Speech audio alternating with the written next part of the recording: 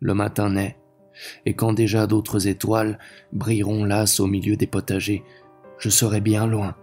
Oh, il ne restera de moi rien d'autre qu'un sommeil aveugle et triste, une vie distante, un avoir été, un avoir ri et pleuré, un corps vain, désormais aussi perdu dans le souvenir qu'un silence de siècle est une broutille. Chacun de mes gestes, dans cette pâleur lasse d'une lune qui décroît, paraîtra un rêve.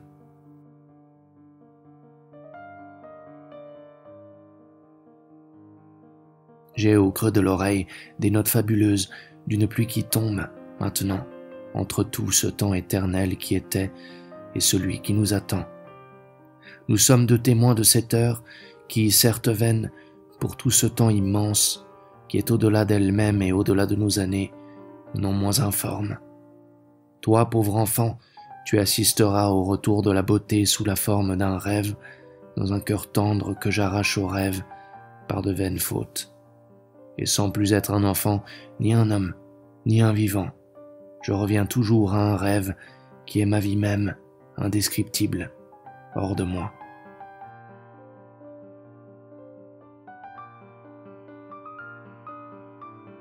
Tu t'éveilles, tu laisses sur les couvertures blanches l'ombre d'essence, tu ouvres les persiennes, fatigué. Le soleil caresse les murs de la rue, la masse de la ville, parmi des sons joyeux, des soupirs, des cris. La pluie d'hier soir délaie en un frisson calme l'atmosphère. Puis tu te retournes vers le triste intérieur de la chambre, chaude, et c'est avec cela que ton âme cède. Au gel du temps, une amertume sèche, comme le soleil poussif qui oppresse la route. Le beau temps inespéré, une nouvelle douceur que la journée nouvelle offre à la lassitude mortelle des sens. Tu regardes l'ombre déjà ancienne sur le lit des faits. Tu penses que bien plus ancienne est l'ombre du péché, qui insensible pâlit. Et depuis combien de matins? Le cœur tourmenté. Il n'y a que le regret de la pureté, mais tu te résignes, de toute façon, la vie s'en va.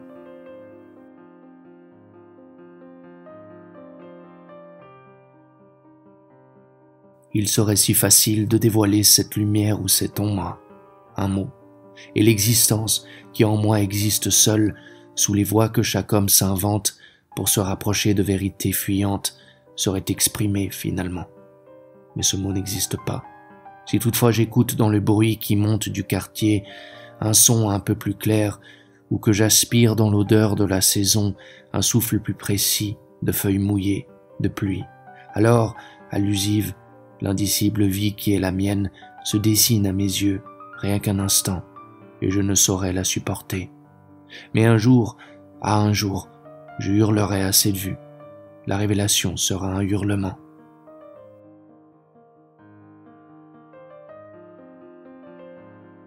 étendu son nom de croyant, enseveli dans le silence qui déjà tremble de reprendre le bruissement quotidien, étendu incarné dans le quartier pour entendre la voix d'une radio, unique voix dans la scène muette où le temps reprend aveuglément son souffle au son mort d'une chansonnette, en recommençant le mouvement quotidien vers le vrai vide qui nous attend.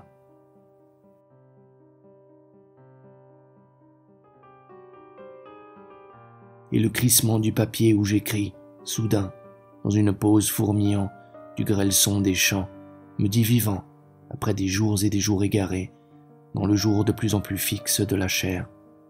Ce vide soudain qui fouille dans les siècles, qui souffle dans la pièce une odeur de cimetière abandonné, compte plus que mille corps étreints dans des enlacements ou dans des désirs énervés, plus que les pensées que le monde m'impose.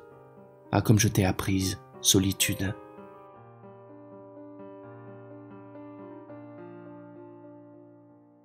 Dans le gris de la terre et de la voûte du ciel, où monte une bourrasque qui pâlit tranquille dans une paix fanée, venue me dire que s'il pleut, c'est le printemps. Un oiseau vole, blanc, les ailes blanches, hérissées dans son vol contre l'air, son buste blanc qui frôle les poteaux, les tuiles, les arbres, les rares phares. Fuit ou triomphe, aveugle et froid ou frétillement de ravissement, sacré bien que ivre, en tout cas pur, nu de tout vice, nécessaire. et plus les ténèbres s'épaississent, plus la lumière aveugle. Le monde n'a pas de regrets. Toute créature vole et sombre.